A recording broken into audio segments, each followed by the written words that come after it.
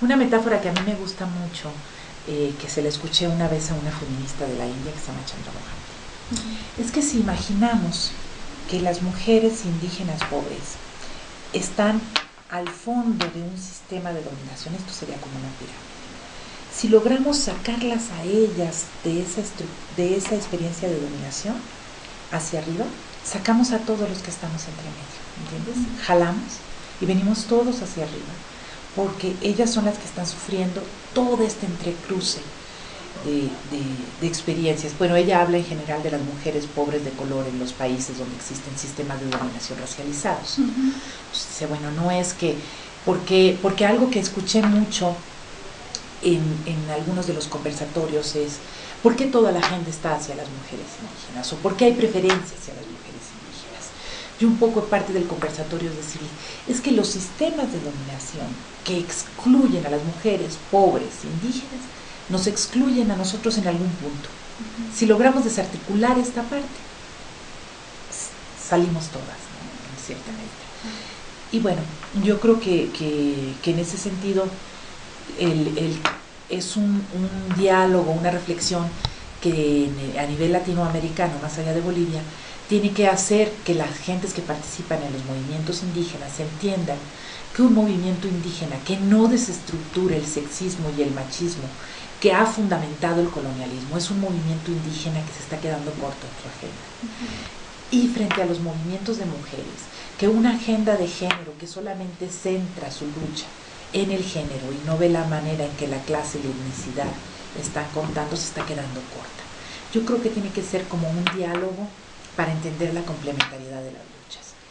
Y evidentemente es algo pendiente porque es muy, en muchos contextos pasa lo que me encontré acá en Bolivia, ¿no? Y es una tensión en la que eh, las mujeres indígenas sienten muchas veces que las mujeres feministas no están escuchándolas en su agenda y las mujeres feministas sienten que el movimiento que solo considera los derechos indígenas no está considerándolas a ellas. Entonces yo creo que hay que acercarlas a entender cómo están articulados estos sistemas.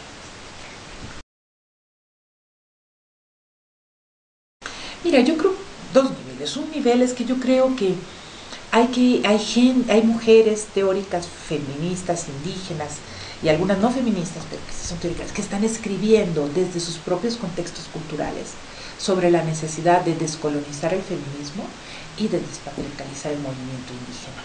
Y que cuando son voces desde adentro, yo les decía eso a las compañeras ahora que yo di el taller, que me hubiera sido interesante, por ejemplo, que ustedes pudieran invitar a Emma Chirich, que es una feminista cachiquel, que tienen otro tipo de interlocución que, que, parten de su propia experiencia, que están hablando desde donde ellas estuvieron, como parte de un movimiento indígena al que cuestionaron desde una agenda de género.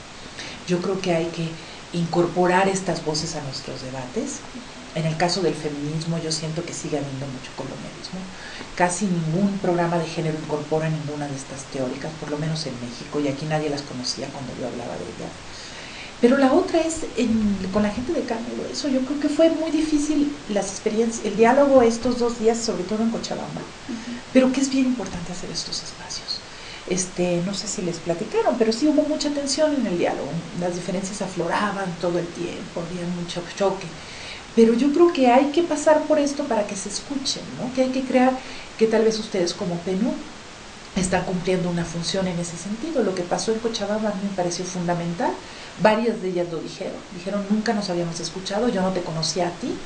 Había compañeras que venían de partidos que, que algunos tipifican como de derecha, con compañeras del MAS, con compañeras del Pachacuti, que se habían visto de lejos pero no se habían escuchado. Y yo creo que humanizar la voz del otro, o sea, no verlo solo como el enemigo político, sino conocerlo de carne y hueso es un primer paso, ¿no? Y que en este sentido pues hay que ser los maestros también, ¿no?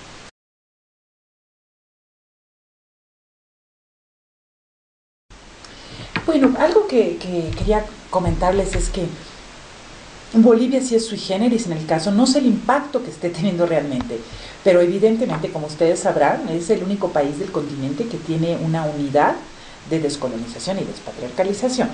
Yo les comentaba que desde la teoría social se habla de cómo cuando el sentido común se convierte en discurso. Es decir, cuando aquello que hemos normalizado como una forma de ser, así son las mujeres, así son los hombres, así son los indígenas, se convierte en discurso y lo nombramos ya como una forma de desigualdad, es un paso fundamental en la transformación social. Y el hecho que exista ya una unidad de descolonización y despatriarcalización, más allá de lo que esté logrando hacer, quiere decir que se ha hecho reconocer a la sociedad y al Estado que los dos procesos son fundamentales para la construcción de una sociedad más justa.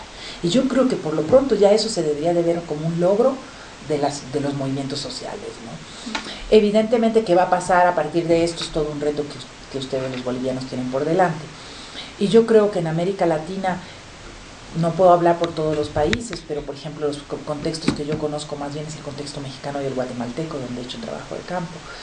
Y apenas se empieza a abordar el tema del racismo, en el caso mexicano a partir del movimiento zapatista, y todavía hay una negación muy fuerte a ver el racismo como un problema que requiera políticas públicas específicas. Y en el caso de las políticas de género, siguen estando pensadas desde el contexto urbano, clase media, que no, que no considera, por ejemplo, hay un modelo de las casas contra la violencia las que financia el gobierno. Y este modelo es un modelo totalmente urbano, totalmente pensado desde el contexto de las mujeres hasta clase media, en donde la cultura no, pinta para nada. Y este modelo se está, es el modelo que se utiliza a nivel nacional. Entonces yo creo que ese entrecruce que Bolivia está poniendo en la mesa es un entrecruce fundamental.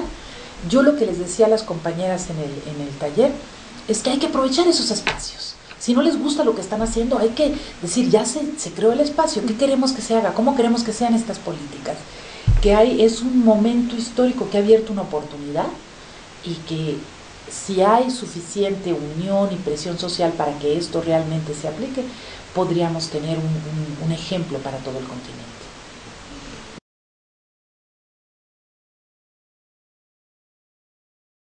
Bueno, yo creo que ya se están haciendo esas cosas. El enlace continental de mujeres indígenas, eh, pues que ya va a cumplir casi 10 años de haberse creado, pues ha estado tratando de juntar estas distintas experiencias, de discutir, hay muchas diferencias internas, por supuesto. Yo tuve el privilegio de estar como invitada en la última reunión de enlace que se hizo en México, en un pueblo náhuatl que se llama Tetela del Volcán y llegaron mujeres de Alaska, inuits de Canadá, nativoamericanas de Estados Unidos, de mapuches desde la Patagonia. Fue una comunidad indígena chiquita como Tarata. Entonces todo el pueblo se inundó por mujeres indígenas, fue un encuentro increíble. Y ahí hablaron de qué tipo de alianzas se podían hacer, cómo se podían complementar, articulaciones, etcétera. Y yo creo que bueno, que hay que apoyar esos espacios que están ahí y, por ejemplo, los que estamos como ustedes en políticas públicas a nivel internacional o en la academia, yo creo que una cosa importante para abonar a estos diálogos es incorporar esas voces en nuestros trabajos, en nuestras agendas, en nuestros, por ejemplo, en andamios. ¿Por qué no hacer una entrevista a alguna de ellas? Por internet. Hacerle una entrevista, por ejemplo, hay una intelectual Chole en México que se llama, Chole es un pueblo maya, ella se llama Georgina Méndez y Georgina tiene, está terminando su doctorado en antropología, pero aparte tiene una ONG em, que ha estado tratando de juntar estas dos agendas, derechos de las mujeres desde la pertinencia cultural, pero lo que tiene específico Georgina es que ha trabajado con mujeres indígenas en Colombia, en Ecuador, en Guatemala y en México.